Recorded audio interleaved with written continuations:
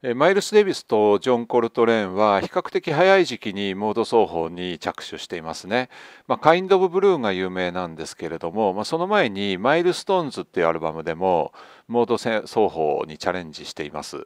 それでまあコルトレーンはコルトレーン、マイルスはマイルスであのモード独自のモード奏法の探求に臨んでいきそれぞれ別の道を歩んでいくんですけれどもこの2人のモードに対する捉え方って本当に対照的だなと思っています個人的には。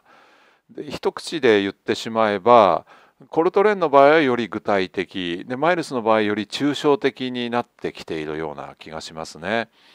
それはこの2人のピアニストに求めるものピアニスト像みたいなね自分が雇ったピアニストの音を聞くとだいぶわかるんじゃないかなと思います。コルトレーンはマイルスのバンドの元を去ってですね自分のリーダーバンドを立ち上げましたその時雇ったのがマッコイ・タイナーでしたでマッコイ・タイナーというのは、まあ、お聞きいただければ分かると通りね。特に「マイ・フェバリット・シングス」なんて聞けば分かる通りすごく分かりやすい和音で音の積み重ねでこう提示してますよね。演奏ナビゲートをしていますよね。もうガンガン叩くような感じで結構たくさんの音数で演奏ナビゲートをしてると思います。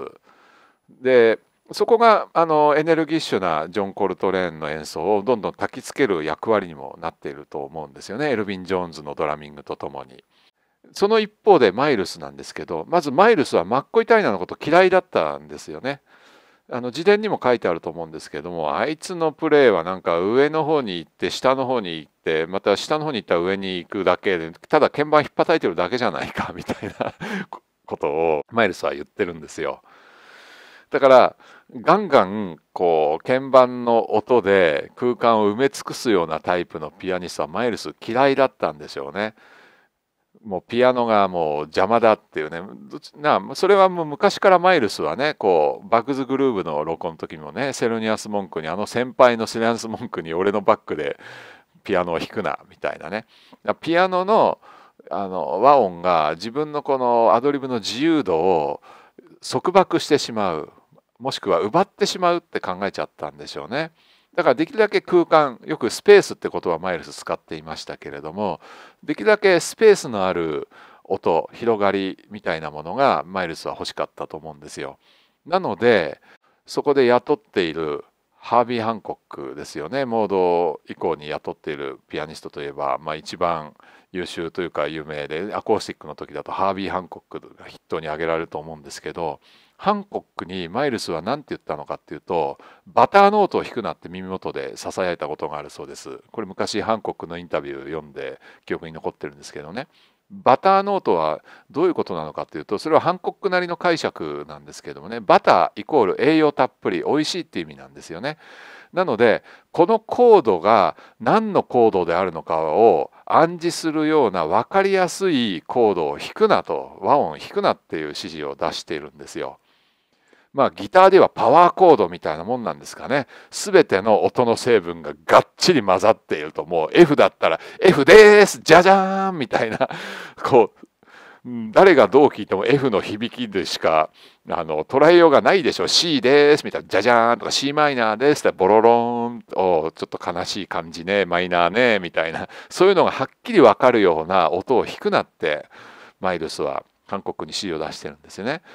具体的に言うと、まあ、例えばですけれどもね C っていうコードありますよねあるいは c マイナーって曲ありますあコードありますよね。その差っていうのは何かっていうと3度なんですよ。C はドミソなんですね。ドとミとソの組み合わせ。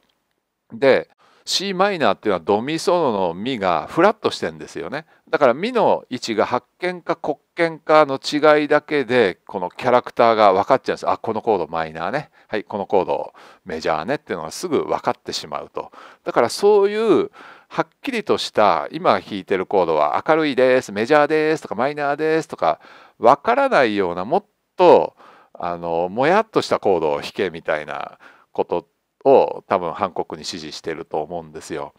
マッコイの場合は分かりやすいんですね。ガンガンってここはこう、ここはこうです、ここはこうですってこういう音が入ってるからこういう響きですってすごく分かりやすくナビゲートしてるんですけど逆に分かりにくさっていうとちょっと語弊があるんですけどもうちょっと曖昧な感じどうとでも取れるような響きをマイルス求めていたわけですよね。その方がより演奏に広がりをもたらすと多分考えていたと思うんですよ。でさらに弾きすぎるなっていうこともあの弾きたくなかったら全然弾かなくていいんだみたいなこともアドバイスしてるんですよね。そうすることによってより管楽器奏者の自由度が増すと考えていたんですねだからコルトレーンと求めているものピアノに求めているもの全く対極だったってことがわかると思うんですよ。まあ、それが証拠にと言ってもあれですけれども4部作ありますよね。ESP にソーサラーマイルス・スマイルズネフェルティティとあるんですけれどもその中のマイルス・スマイルズを聴いていただければ分かると思うんですけれどもフリーダム・ジャズ・ダンスとかねあとバラード調の曲は抜きで例えばオービッツとかあとジンジャーブレッドボーイとかちょっと早めのアップテンポの曲なんかだとハービー・ハンコックは本奏者がアドリブ取ってるバックでほとんどピアノ弾いてないんですよね。で自分のピアノソロの番になったらシングルトーンで右手ほとんど右手だけでメロディーをまるで管楽器奏者のように弾いていて左手ではほとんどコンピング、まあ、和音入れてなかったりもするんですよ。それこそが多分マイルスが指示を出したことに対するハンコックの回答だと思うんですけれどもねとにかく弾きすぎないと自分で考えるとほらピアノっていうのもいうのは指だけ動かしてしまえば音が出る楽器なのでそこら辺が管楽器と違うところなんですよね。管楽器は指を動かすだけじゃなくて息も吹き込まなきゃいけないわけなんですよ。だからピアノより演奏大変なわけなんですよ。あと息継ぎもしなきゃいけないから必ずフレーズとフレーズの合間に絶対ね、まあ、循環呼吸法をマスターしてる人だったらともかく絶対息継ぎスペースが生まれるわけですよね。ところがピアノって弾こうと思えばいくらでももう指さえ動かせば音が出てしまう。だからあの練習した人テクニックある人だったらいくらでも弾いてしまうと。ついつい弾きすぎてしまう癖がやっぱりピアニストに出てしまうんでしょうね。だからマイルスはそれを嫌ったのかもしれませんね。だから本当に昔からマイルスが求めているピアニストに求めている演奏スタイルっていうのはホレス・シルバーの頃からもそうですもんね。ブルーノートのマイルスとかあとプレスティッジでもねバグズグルーブの B 面ではホレス・シルバーがピアノ弾いてますけれどもホレシルバーのピアノ音数少ないですからね。あと、ウォーキン、プレスティッジでウォーキンってアルバムも出てますけど、それもピアノホレスシルバーですけど、いつになく、ホレスシルバーっていうと自分がリーダーのアルバムだと、もうすごいケンケンケケンケンケンケンケンケンケンケンケンってすごいうるさいほどバッキングしてるぐらい、ピアノ弾きすぎなぐらいピアノ弾きまくる人なんですけど、マイルスのバックだと、結構節約した音遣い、間を生かしたピアノを弾いてるんですよね。で、まあハンコックになるとやっぱハンネフェルティティとかのね和音ピノキオとかネフェルティティとかね聞いていただくと何を考え何なんでこの和音をつけているのっていうような謎の和音結構多かったりもするんですけれどもそこら辺がまあマイルスにとってはもうしてやったりな響きだったんでしょうね。なのでどんどんどんどん抽象化抽象化に向かっていったような気がします。だからその辺も同じねこうモードイディオムを身につけた後のこの2人の管楽器奏者が求めていた音楽全然違った方向にこう向かっていっちゃいますよね。でマイルスの場合はより一層このピアノだとどうしてもアタックが強い楽器ですかね。アタック音コーンって弾くとやっぱり打楽器ですからね。ピアノってね。弦をハンマーを叩くわけなんでそのアクションあのコーンって弾いた瞬間のアタック感ってやっぱりとても強くなるので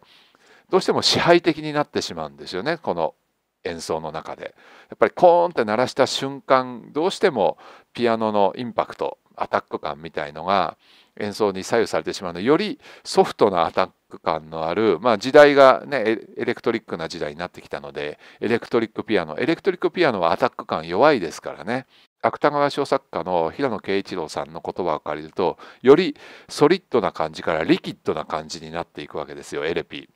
アタックが弱いと。でさらにピアノの音の積み重ねピアノっていうのはただ単にこう音と音例えばドとミとソを積み重ねてゴーンって弾いても他の弦も共鳴しますから倍音っていうのも含まれますので絶対他の響きっていうのも含まれてしまうんですよね。ところが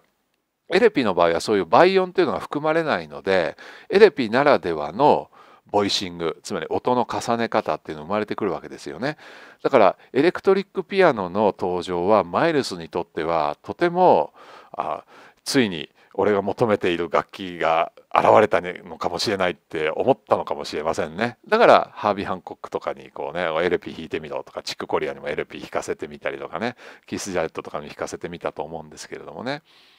まあ、ハンコックなんかは、まあ、親分が言うから、まあ、よくわかんないけど弾いてみたぐらいな感じだったみたいなんですけどね最初は。まあね新しい楽器きっと親分使いたがってるからじゃあ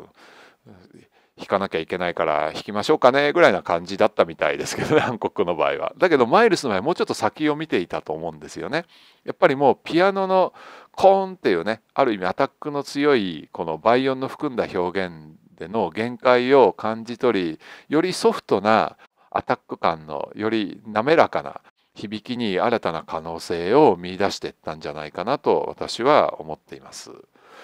ということで、まあ、ちょっとねマッコイ・タイナーとハービー・ハンコックを主に比較してモードイディオムを身につけたマイルスとコルトレーンのピアニストに求める違いというものをですね語ってみたみましたまだちょっと考えがまとまっていないところもあったりもするのでまたこのテーマに関してはですねまた新たなアイディアがというか発想考えがまとまったら、まあ、別な機会にアップしていきたいなとは思っております。まあ、今回はちょっと喋ってみたかったので喋ってみました。ということで、えー、最後までお聴きくださいましてありがとうございました。